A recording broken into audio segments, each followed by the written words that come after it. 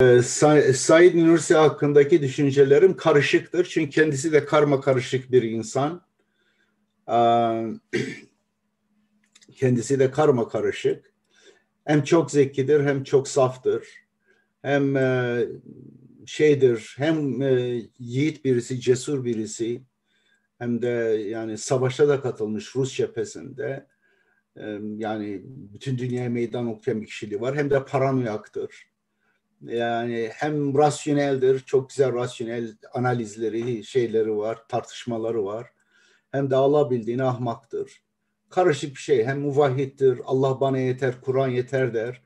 Ama öte yandan en uyduruk hadisleri bile e, kitabına e, överek alıyor. Mesela Muhammed Peygamber'in mucizeleri babında altın ile yazılması gereken bölüm kitabında Orada Muhammed Peygamber güya bir çocuk namazının önünden geçmiş, ona kötürüm ol demiş, beddua etmiş ve çocuk kötürüm olmuş.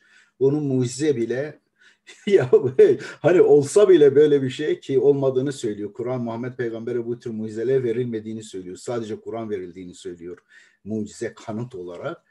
Hadi böyle bir şey olsa bile ya bunu bunu övme makamında alamazsın ya. O kardeşim bu ne biçim bir mucize ya. Küçücük çocuk namazın önünden geçiyor onu kötü mü yapıyor? Böyle rahmet peygamberi mi olur?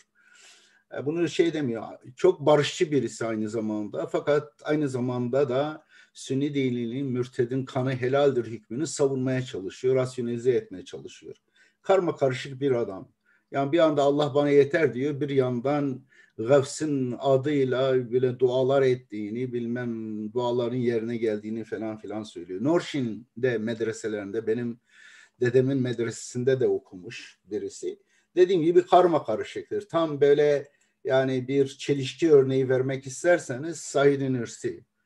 Ve o bir ama e, dürüst birisidir. Ben e, o yönüyle severim. Yani paracı marcı birisi değildi.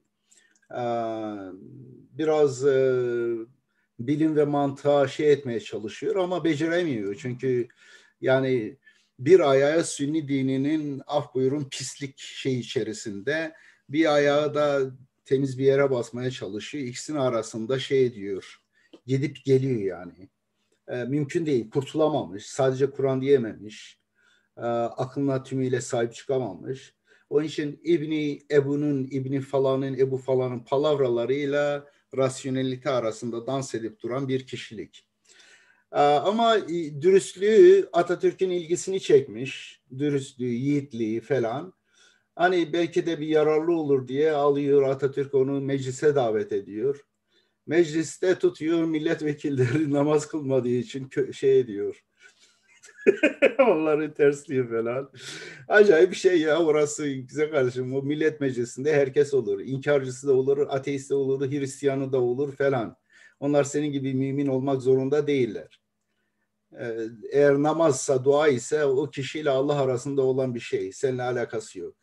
Sen tut halk işleriyle, adaletle ilgili, barışla ilgili, toplumun sorunlarıyla ilgili bir şeyler konuş. Ama gidiyor orada vaizlik yapıyor falan filan saçmalık yani. Ee, Atatürk ona dokunmuyor. Yani e, Atatürk'ü iddia ettikleri gibi öyle zalim birisi falan olsaydı onu meclise bile davet etmezdi ya. Neyse. Ee, keşke Atatürk zamanında yaşasaydım veya Atatürk benim zamanımda yaşasaydı. İyi anlaşırdık yani adamla. Adam kesinlikle sadece Kur'an mesajını kabul ederdi. Benim şeyim intibam o.